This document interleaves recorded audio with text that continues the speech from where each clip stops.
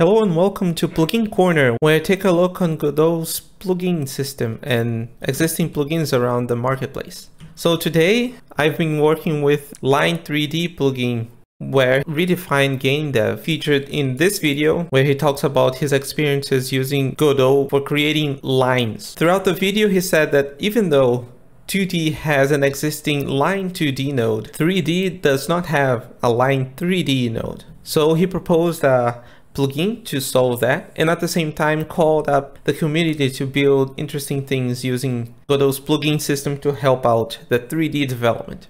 And since then, I've been trying to improve his existing plugin like you see here. Here I'm using only line 3Ds all around. I created everything like this demo level kind of thing with a, I don't know, like a sun or a rotating deity I don't know. It certainly depends on what you want to do with your game. But you can see that there are flat lines, more or less how he proposed. But there's also custom materials, which I just put on top of the line. It's solid, so I can walk on top of it if I wish. And on top of this one, you can see there's a railing, which is not flat. It's actually a cylinder. And same thing goes to that thing. So in this video, we'll see how to use a plugin by exploring this existing scene, trying to build one for our own. So as a basis, I'll just show what the plugin does. I'll create a new scene, empty scene, add a child, and within spatial, within path, you'll find line 3D. You'll see that line 3D like doesn't appear. There's nothing here but these gizmos over here appear. Line 3D extends the path node. If you already had path and used path before, you'll probably remember these same things where you define a path that goes from one place to the other. It's great for AI or movement, for example. And from here, I suggest you to use this gizmo to force one specific view so that you can build things on a plane, depending on what you want to do, of course. So from here, you can click here on the add, add a few things, and now we have a 3D line already. From this line, what you can define is the width. So make it gigantic if you wish. You can also define a width curve, so to speak. So you can make it start big and end up small. You can change the color. You can also change a gradient, which is similar to the color, but then it goes from one to the other, as you can see. You can also define a texture. For example, I'll just get the icon here, and you'll see that it's stretching out throughout the, the line. There's also other options, so you can tile on top or double tile. The, these are examples, but everything can be customized through a custom material if you so wish. And you can also have a 2D line like so. So I'll just put back to, to tile and say you don't want actually the, the 3D line to be pointing upwards. You can change this using this custom direction. So say I want in the X, so we'll point towards the X. Or if you have a camera within your scene, you can also ask it to point to the camera, which is probably the best way to use it. So now it's properly following the camera, so we'll just wrap around it. Some other features are related more towards the resolution of the line. And it's also important to remember that all the lines, if I go back to this and this, the line resolution can be defined by like smoothing it or changing the resolution of the cross section or the line itself with these two variables. With these and also with the Bezier curve, which you can access by holding shift and dragging from one of the dots, you can just build nearly anything that you like. So this is how the basis of this line works. Here in this test scene that I built, you can see that I have like just a regular thing on the bottom, but then I created this little thing for me to walk on top. This is just a line also You can edit as you wish and it gets to the ground so that I can go on top of it. Using the collision mesh over here, and you can choose whether you want a convex or concave. If I enable here visible collision shapes, you'll see what the collision shapes are generated from this automatic procedure. And here it is. Now the, the other collisions are still being generated, but you'll see that this is the, the convex shape. It's not exactly on top of the line, but it's good enough and it's more performant to use. However, if you use a concave or triplanar method, you see that it's much more exact and it literally follows what the mesh polygons are defining. So it's much more intense for your CPU. With this, let's see how we can build a scene similar to what I did here.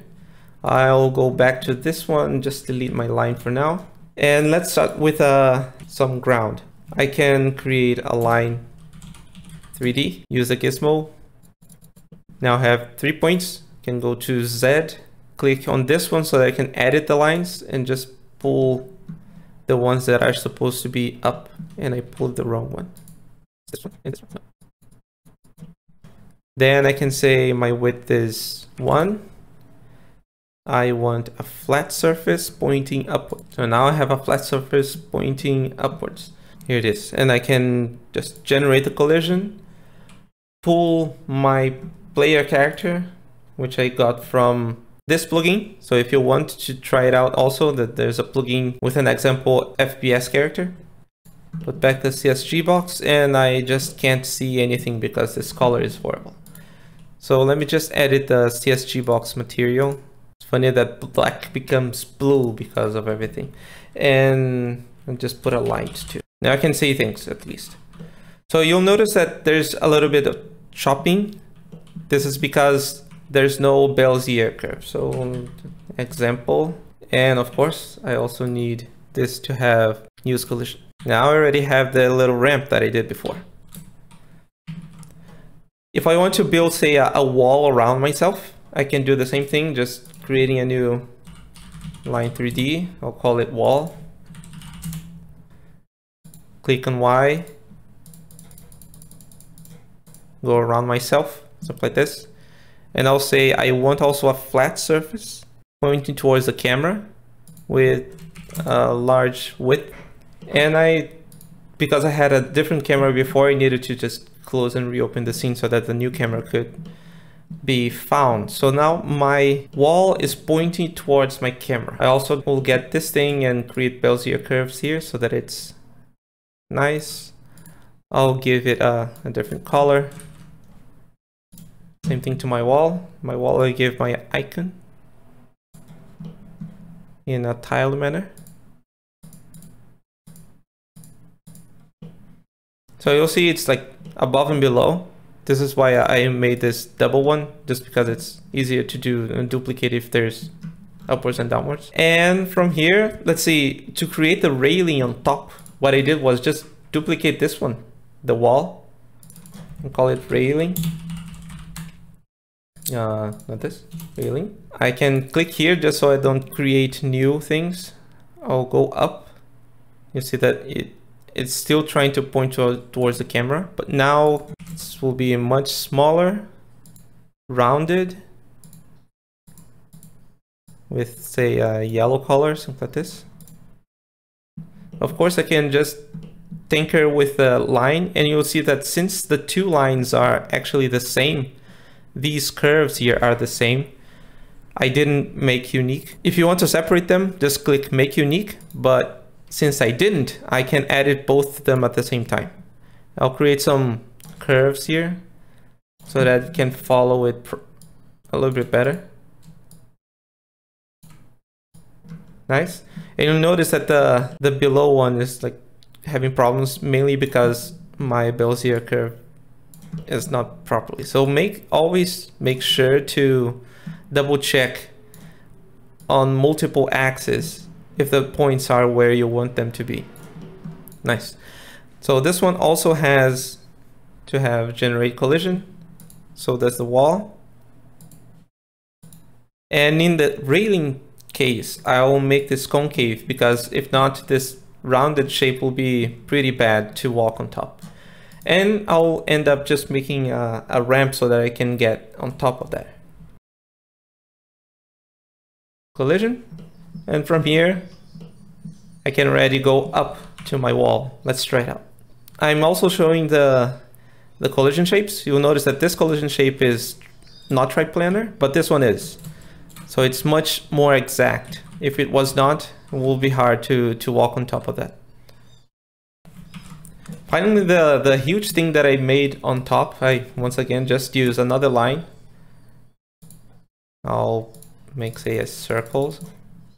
And I can click on this last one to finish off on the same point that was in the beginning. I'll make fairly large and click on the first one here to be able to pull it up. I will make it smooth and I'll create a custom material for this one. By the way, you can use a gradient and I'll just leave the default one from black to white. If you come here in parameter, no, in vertex color, if you click use as albedo, you can still use the default and gradient from within your custom material. And I also, in that example, set unshaded. So it gives like this eerie feeling. But you'll notice that it doesn't quite close it off properly. So this part you need to do it manually if you wish to do it to be more exact. Something like this. So if you if I run it now, it will be static. If I want it to rotate, you can right click here and extend script. If you do this, you'll notice that I can't edit things anymore. If I come back to 3D, click on this thing, it doesn't change, you see? It gives error. So to fix this, you can just make this a tool. And now it works again. But it loses, but it loses everything here. So be careful when you do this, just as I did. Once I'm here, I suggest, since this is a, a tool, I suggest you to if engine this will tell me whether I'm running this script within the editor or not. So if I'm running it in the editor, I'll just set process false so that my func process doesn't execute while this is this is in the in the editor. And finally to rotate over the Y, which was what I did. Here you go. So you'll see it's not rotating because of this if, but if I run the project, it will be rotating. Great, and with this, we concluded and recreated the scene that I showed you before. You notice that this is pretty powerful and you can, even though it's simple, it's pretty powerful to build like example scenes and test out levels or just create ramps if you want uh, things with collisions or just like arrows or pointers or things on the ground, things on the top on on the sky that fly. You can like create a bunch of things with this. To install this for yourself, you can for now go into my fork. It's not merged yet with Redefine's fork and clone it into your, your project. You'll get this add-on into the project. This is like everything within this, this folder is important. Everything else is not. Then from here, project, project settings, uh, plugins, and just enable the plugin. So I hope you liked it. I hope you can either use this plugin for yourself in like game jams or I don't know, for yourself, make more, uh, please do make more 3D games. I'm looking forward to playing your games also support Redefine Game Dev with his 3D development effort within Godot. Thank you for watching.